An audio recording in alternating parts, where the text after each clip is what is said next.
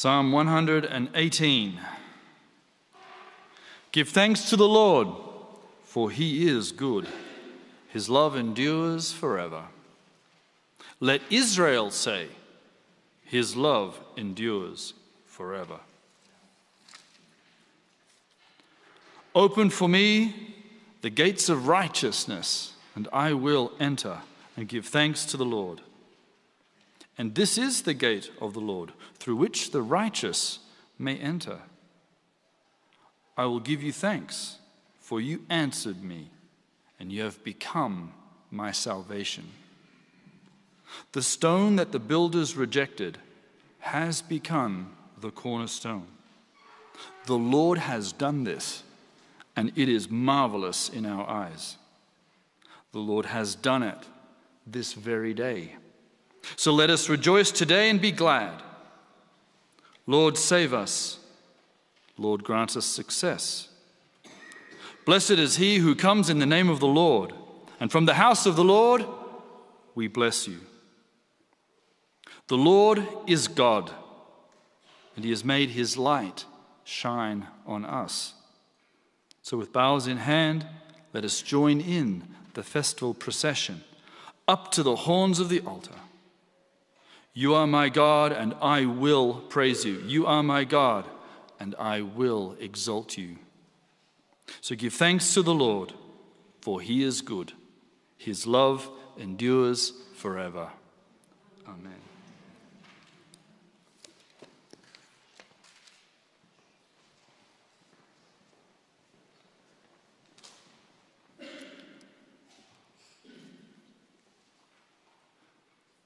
I know you just sat down, but please stand for the reading of the gospel as we honor the King. Matthew chapter 21, starting in verse 1. As they approached Jerusalem and came to Beit Phage on the Mount of Olives, Jesus sent two disciples, saying to them, Go to the village ahead of you, and at once you will find a donkey tied there with her colt by her. Untie them and bring them to me. If anyone says anything to you, say that the Lord needs them, and he will send them right away. This took place to fulfill what was spoken through the prophet.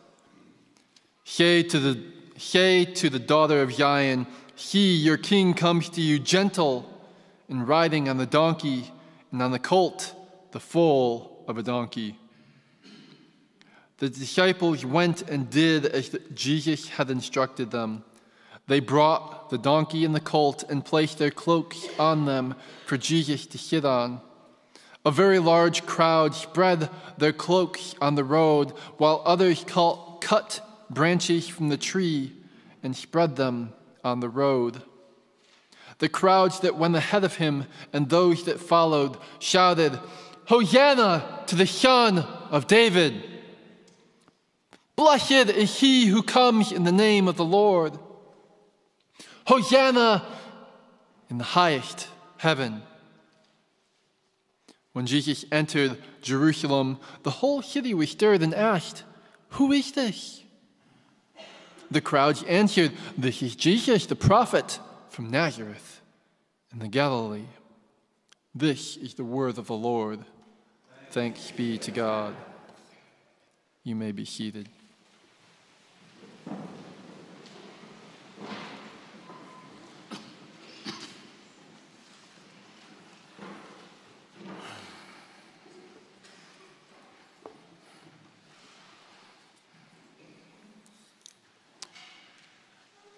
Let's pray.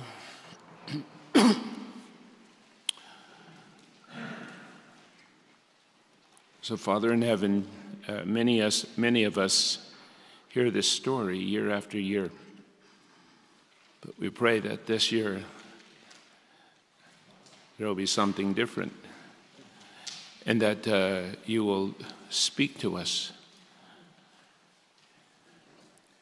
as we sit here in Jerusalem with palm branches, and that uh, clearly we will hear your voice and we will be directed and guided by you and be able to walk in the way of repentance and, and the way of your Son, Jesus the Messiah.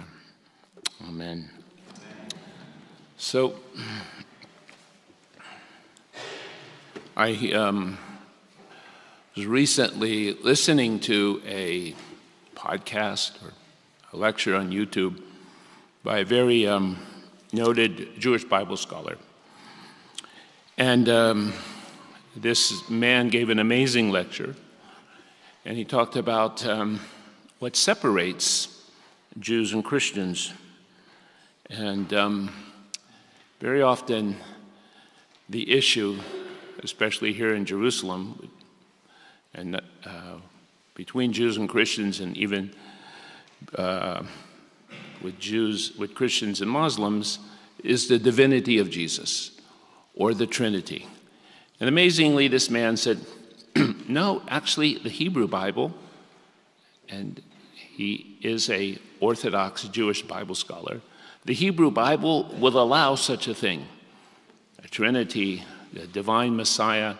He said, Our disagreement with, with Christianity, he said, is really simple. Yes. Can a crucified man be the Messiah?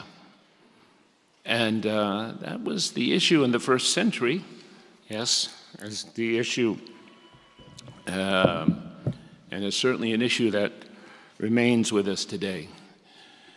And we're talking about the,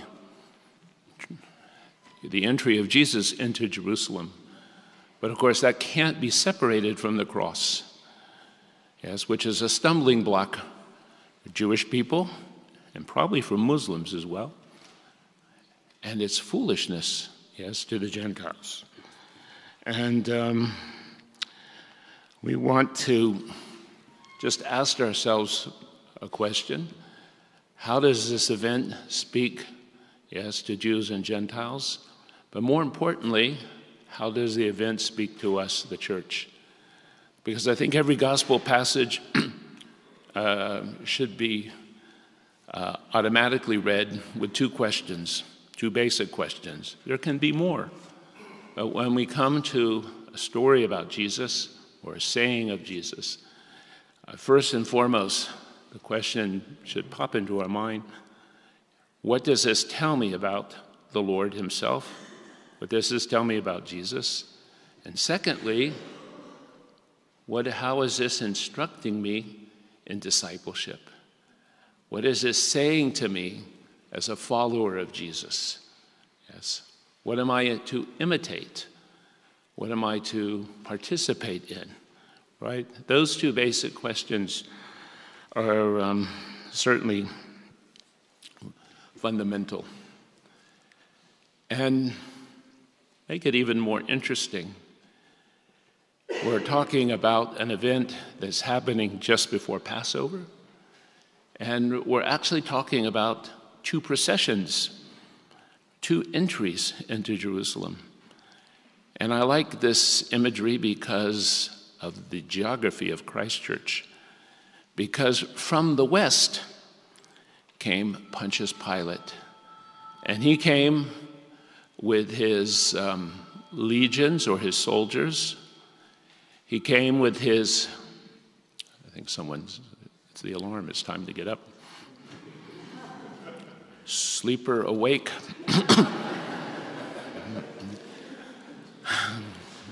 Sleeper, Sleepers, the hour is here.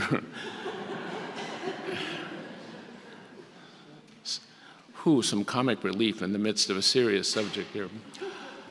From the west, from uh, Caesarea Maritima, as comes uh, Pontius Pilate, the Roman governor of the southern part of this country in Jerusalem.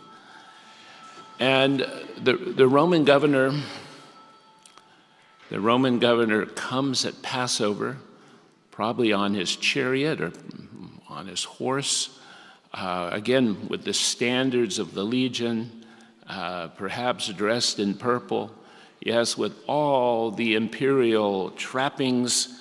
And uh, he, together with his entourage, march into Jerusalem, and they station themselves pretty much on this property. on what was uh, Herod's palace at one time and becomes the place where yearly the Roman governor at Passover comes right to Jerusalem because Passover for the Romans um, is the most dangerous time of the year. In a sense, it is the Independence Day, Israel's Independence Day, or the Independence Day of ancient Israel, because it celebrates slavery to freedom. It celebrates redemption. And of course, the popular common assumption was very simply that when the Messiah comes, the Messiah will come at Passover. So we should expect messianic redemption. And that tradition, by the way, continues down to our day because at a Passover meal, an empty chair is always left for who? Elijah. And Elijah precedes who? The Messiah, right? Elijah is the messenger that's going to. And so that um, thinking and perhaps ideology, you might say, that comes from the scripture itself is still with us at this time. So this becomes a very dangerous, you might say, volatile time of the year. And uh, it's not surprising that the revolt in the year 66, of course, broke out, uh, broke out at Passover. And from the east comes another procession. Yes, um, there are no chariots, there are no horses, there are no, you know, cohorts of Roman legions or Roman soldiers, imperial banners, purple. Instead, comes a prophet from Galilee riding down from the Mount of Olives and entering Jerusalem, yes, to um, the praises of, um, of the pilgrims who are coming with him. And uh, they are putting palm branches and garments in front of him. And they are um, hailing him as the King Messiah. Yeah, a very unlikely king who comes in on a donkey to the praise of children, as opposed, yes, to the pomp and the glory and the military might of Rome. And you know, the question we can always ask ourselves which procession are we? Which, which procession do we, are we in? Yes, are we coming from the West? Yes, with what the world considers to be power, yes, and success? Or are we coming in from the East with a Messiah who comes to make peace, but does so in a way that seems counterintuitive or counter or counterproductive, counterproductive? And so the first place I'd like to begin and almost end is with, with the procession that comes from the east. Because before, or as Jesus comes to Jerusalem, both Matthew and Luke, Mark and John, um, are, are, not, um, don't, uh, don't mention that Jesus weeps over this city. He cries over Jerusalem. And I think that um, his weeping uh, over Jerusalem is something that we, I hope that we can take uh, into consideration this morning. Just the very fact that he is torn up, yes, over the fate of, um, over the fate of his people. But before we can understand uh, Jesus, or we can maybe go a little deeper into why Jesus weeps, can we not have some sympathy, right, with the Jewish people? Because in Christian teaching and preaching, it goes oftentimes like this The Jews didn't accept Jesus. You know, they were nationalistic. They didn't understand. They wanted some kind of messianic redemption that wasn't on offer from Jesus. you know, and aren't they unfortunate? They didn't get it, but we get it. Okay, that's the undertone of, um, of much of our teaching and preaching and the way that we read these texts. But just for a moment, just for a moment, can we not sympathize with people who find themselves really confused? Really confused? Yes, like, what's going on here, God? Why are we suffering for doing the right thing? Why are, good, why are bad things happening to good people? By the way, if you read the Old Testament, bad things happen to bad people. There's no, um, uh, you might say, reality, maybe with the exception of Job. Why, are, why do bad things happen to those who are obedient, who put away idolatry or, or immorality, for example? Why are we suffering? Why are you not allowing us, yes, to um, see your redemption? Why do we have to put up with our land polluted with idolatry and immorality? Why can't we be the people and uh, live out the role that uh, you, um, you, you have uh, promised us or you have, you have given us? Why are we living under um, the most brutal occupation? Right? The Romans, they, they knew how to occupy or to run an empire on a budget. They didn't use a lot, they didn't have a soldier standing on every corner. They just used sheer, you know, mafia terror, yes, brutality. And people in the ancient world couldn't understand why do they need to be so bloodthirsty? or why do they need to be so brutal? Right? And the way that you suppressed people or humiliated people was through the cross. It was the ultimate form of shame. Yes, the ultimate glory, by the way, was the military general who, Roman military general, who, especially after a victory, would be given uh, honor. Purple would be put upon the general. He would wear you know, a, uh, uh, some form of, of crown, he would then go into the temple of a pagan god and give thanks for his victory. And all of the society, yes, would, uh, would honor and praise this particular person. Um, so there's suffering and frustration, there's confusion, yes. And people are desperate. And in desperation, wouldn't you cry out for someone to come and deliver you? Wouldn't you cry out for a king to come and change the political system? And if you're thinking, oh, no, I wouldn't, I'm going to tell you, oh, yes, we would. Because that's what most of us do today. As Christians in our present, uh, in, the, in the present uh, context, in the, in the countries that we live. Yes, we want to take a shortcut, right? Because, because we're no different in some ways, okay, in some ways, than Jerusalem was in the year 30 when Jesus enters, right? We call ourselves the people of God, but why are these things happening?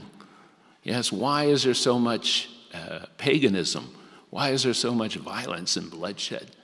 Yes, why is there so much persecution of God's people? Yes, surely what we need is a Christian president. Yes, a Christian prime minister. That'll fix everything. Okay? No, that's exactly right. And so Jesus comes to Jerusalem, yes, not only as the priest and not only as the king Messiah, but he has a role in this instance as a prophet. Yes, Luke 13 tells Jesus says when he's on his way to Jerusalem, no prophet can die outside of Jerusalem. And I'm not minimizing Jesus and making him only a prophet, but he was in part a prophet. Yes, and his, his coming to Jerusalem is to warn his people and to call them to repentance.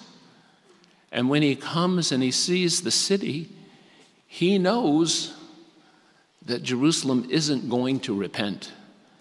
And he weeps. Yes, he weeps because he, he foresees the fate of a city that is going the wrong way, going in the wrong direction, and it's doing so at some breakneck speed, and it's going to end up as a, end up in disaster, absolute disaster, right, for the Jewish people, yes, um, and the consequences of that are st- still being felt to this day. Now, how do we describe a prophet? Yes, what is the nature of a prophet? Because we have a lot of prophets today in the, in the Christian community, or prophecy has seen a resurgence, and um, that's, I think, on the whole, a good thing. But, but a prophet, how do we define a prophet? Oh, we would say someone who can foretell the future, or someone who can foretell, or someone who can, you know, say, you know, something about uh, the situation we might find ourselves in, in, at the moment.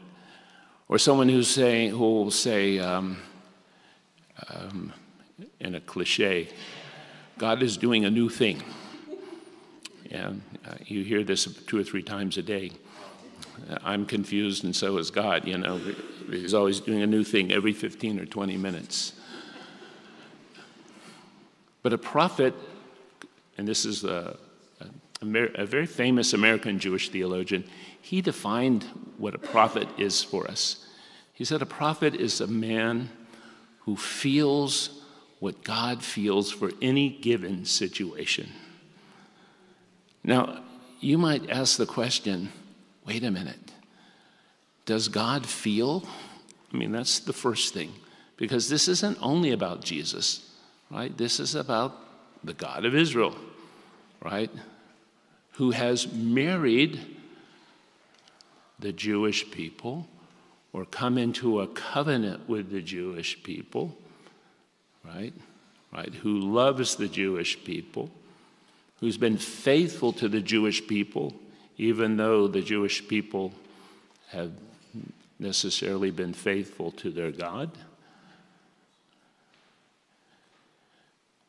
And of course, God's love for the Jewish people is ultimately his love for the nations of the world.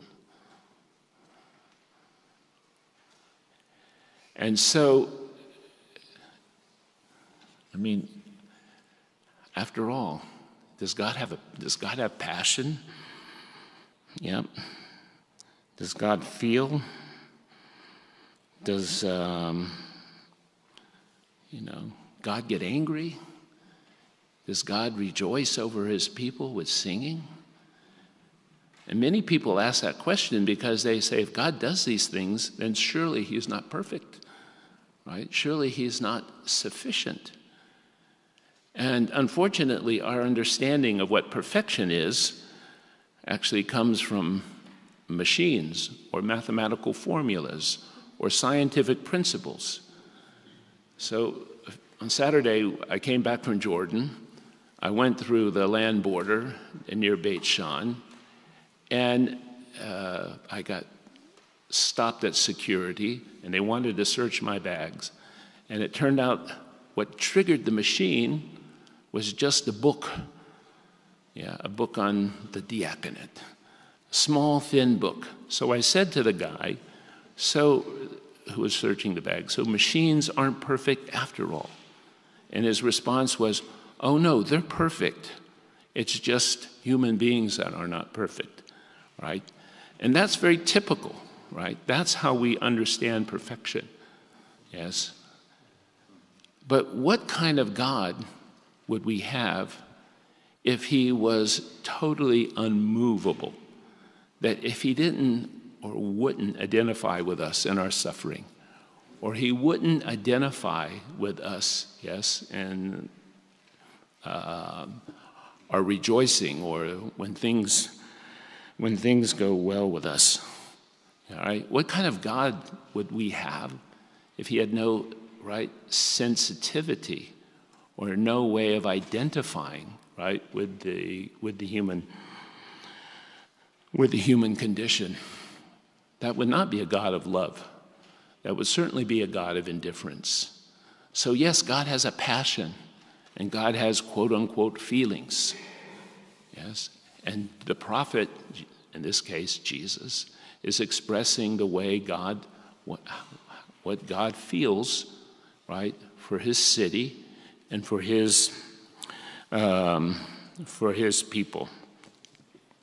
And by the way, in Luke's gospel at least, Jesus continues, right, to show this compassion. Jesus, when he's carrying his cross, and the weeping women of Jerusalem, um, they're weeping for him or weeping on his, uh, on, his be- on his behalf. And by the way, I know it preaches well. I know it's been the main point of a million sermons. But the same crowd that uh, praises Jesus on Sunday is not the same crowd that says, crucify him. All right? Yes, I know human beings are fickle, but uh, Jesus does nothing to cause the, ma- the vast majority of the Jewish people to reject him. And surely in Luke's gospel, yes, you have this sense of people who are weeping and beating their breasts when they see Jesus carrying the cross. And they're saying to themselves, There goes another righteous Jew. How long, how long will we continue to suffer? Yes, God, when are you going to bring deliverance? And you may uh, notice how popular the church was, the followers of Jesus, in the early, uh, in the early uh, chapters of the book of Acts, right? Those who said, Crucify him, crucify him, were the same ones who said, We have no God but Caesar. So this was probably a rent a mob, yes, laid on by perhaps the temple authorities. Okay. So Jesus says to those weeping women, He says, You know, if they do this to me and I'm righteous, what's going to happen to the rest of you? Or what's going to happen to the wicked? In his last breath, Jesus is teaching and he's warning. He could have said, You know, I've got it really bad here. I'm really suffering. I want you to just notice, you know, what's happening to me. And the sad thing is, is that in the midst of his suffering, Jesus is, has been totally abandoned, right? All of his, all of the boys, all of the men run away.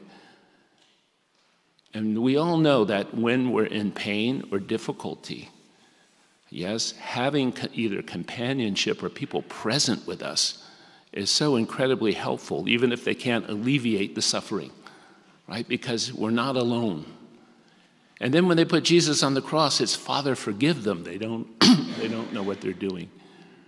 So Jesus expresses God's love for his people and God's love for this city. And we should never separate, right, Jesus from his people or even Jesus from this, uh, from Jerusalem. So there is a love and a tenderness here. There's a compassion but at the same time, there is a severe warning. And here's the paradox and the tension the severe warning is that your house is going to be left desolate, or there is going to be destruction. And it's not some angry God up there, you know, who's going to, you know, pour out his wrath on Jerusalem. It's a God who loves people, even his own chosen people or elected people. He loves them so much that he gives them free will, right? And Jerusalem was determined, you might say, uh, to uh, ultimately go his, go his, the, sorry, go their own way. And what does all this have to do with us? Well, I think, I hope, two things. Now, it's not of my usual 47 point sermon but two things. One, yes, do we weep with compassion? Yes, do we weep with compassion over the societies in which we live. Let's say we represent these societies by cities. Yeah. Yeah. Is, is our concern for New York or is our concern for Rio de Janeiro or Perth? Yes. Does it go as deep as causing us to pray or to weep? Or are we self righteous? Like, you know, they're all sinners, and this, they're going to get their just desserts. Yeah. I, I told them, we told them. There's no self righteousness here with Jesus. Or are we just passive? Oh, and the passivity goes like this Well, this is the end times, and we know there's nothing we can do about the evil and we know that things are only going to get worse and worse and worse. Rem- um, this is all prophesied. I remember going years ago going to um, a conference in England, um, a prayer conference, and some person got up. He was incredibly perceptive, and he said, "I think the Lord is showing me that there's going to be huge trouble, you know, in Israel." and he read a psalm that talked about the, the nations around about Israel coming to attack Israel. Is it Psalm 87? I don't remember at the moment. And everyone thought this was the most brilliant, wonderful presentation. And they were just, you know, overawed by, you know, what he had to say. And iron- not ironically, not long afterwards, the second intifada broke out. And there was huge trouble and bloodshed. After the talk, we all went and had tea and we talked about the weather or some, and I thought, why aren't we on our knees? Why aren't we weeping before the Lord? You know, calling out, right, for the Lord to have compassion or the Lord to change his mind. Because humility and repentance can cause God to change his mind. We can never force God, but yes, but God can be influenced, yes, by what we do and how we live. And it was, oh yeah, this is just prophecy. Isn't that exciting? And there was no concern for the people, right, who were going to die. And we did lose, what, four to 5,000 people died in the second intifada. And there was horrible bloodshed and trauma that's still with us to this day, even though that was 20 years ago. Why didn't anyone weep over this? Why wasn't there real serious intercession? Is it that we're just so focused on our individual well being that we've lost sight of God's right heart for the nations? God's heart for our city. I have no doubt that Jesus weeps over Sydney, and he weeps over Tel Aviv, and he weeps over London. Yeah. He weeps because of not only because of sin, but because of the lack of faith, or even the lack of faithful lack of faithfulness. And so the other question is are we Jerusalem? We being the church. Yes. Are we Jerusalem? You see, again,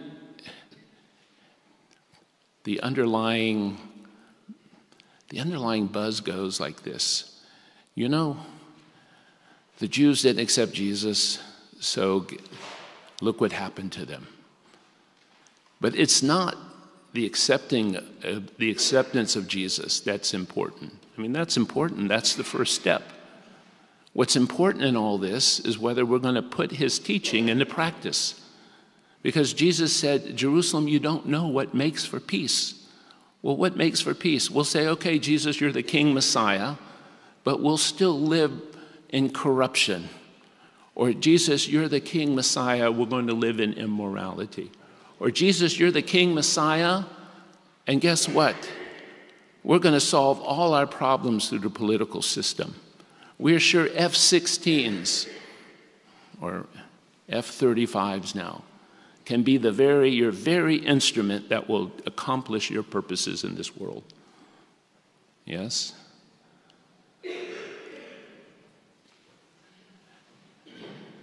It's accepting Jesus, yes, and putting his teaching into practice, right? Putting his teaching into practice, right? It's the Beatitudes. We're living a life of reconciliation. We're forgiving our enemies.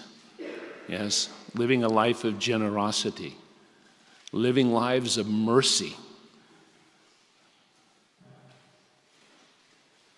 Jesus, con- Jesus con- condemns Jerusalem or weeps over Jerusalem because, especially the leadership, the religious leadership, along with the messianic extremists, take the country in a wrong way. And again, it leads to disaster. And it's not only that the religious leadership is corrupt, right? As in many places, we in the church are corrupt because we are enamored with money or we're enamored with celebrity. Yes? Or the church has become a business but that the temple was misguided in its priorities. And so too had many unfortunate evangelicals, charismatics, and other folks in other denominations. We've sort of lost our way in the last few years. And so, is our house going to be left to us des- desolate? Do we confuse the gospel with our national identity? Yeah. Are we going to protect our religious institutions at all cost? Or are we only concerned again with my salvation, maybe the salvation of my family, and um, you know, uh, you know, the rest of the world is going to hell, and you know that's to be expected.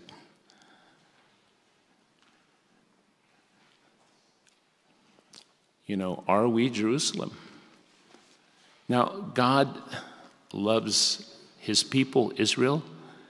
And when Jesus weeps over Jerusalem, it's not the last word. Because it tells us in Luke 21, yes, that there will be a time when Jerusalem is trampled down by the Gentiles and there will be a restoration. And we know also from the history of the church that God oftentimes brings us discipline Yes, we are like when we become that salt that no longer um, does its job. We're thrown out and trampled under, you know, or trampled uh, on by the feet of men, right? That God will bring us, the church, into judgment. And it'll be very embarrassing and very humiliating. But God will always renew that relationship, and He will always always uh, bring reform, and He will always bring renewal. But um, like Jerusalem, Jesus, I think, is speaking to us and warning us, right? And the place, the place where all of this begins is repentance. And as Jesus, of course, makes his way to Jerusalem, as in Luke's Gospel, in Luke 13, Jesus says, Repent. Repent, or we will perish. All of us will perish. But also, there is, an, there is a certain understanding that should make us sober that we oftentimes will reap what we sow. Not always. God is not a God of karma. Yes. You remember when Jesus said, You Well, Someone asked them in Luke 13, there was a tower in uh, lower Jerusalem. It fell down. People were, people were killed. What did they do wrong? Jesus said, nothing. That's a, there's a crude morality there. I did something wrong, so therefore I'm suffering. Yes? but everyone needs to repent. But later, when Jesus is arrested in the garden, he says, Those who live by the sword will die by the sword. Which means not everyone who's lived by the sword will die by the sword. But at the same time, we need to be aware, right, that God, in His mercy and His love, yes, will allow us, like Jerusalem, to reap what we sow. And so I think the Holy Week is a time of examination. It's time for us to continue what we started in Lent, which was a time of repentance. It's repentance not only personally and individual, but it's on behalf of our families, our churches, our communities, yes, and that um, we should have uh, enough compassion for others to be to weep at God's or weep over right the condition of the church. Yes, we do many things well. We do many things well. This is not only a time to tear down, but it's also a time to for us to be sober and to uh, not only examine ourselves, but be willing, yes, um, to be committed, yes, to suffer, yes, on behalf of others around us. So, Palm Sunday ends with this. Yes, Palm Sunday ends with, with victory because ultimately, God, God, in the midst of human suffering and the midst of our disobedience, God does have his way. And it says the following after this, I looked, and there was a great multitude that no one could count, from every nation, tribe, people, and language, standing before the throne in front of the Lamb. They were wearing white robes, and they were holding palm branches in their hands. And they cried out with a loud voice Salvation belongs to our God, who sits on the throne, and to the Lamb. And the angels were standing around the throne and around the elders and the four living creatures. They fell down on their faces before the throne and worshiped God, saying, Amen. Praise and glory, wisdom and thanks and honor, and power and strength be to our God forever and ever. Amen.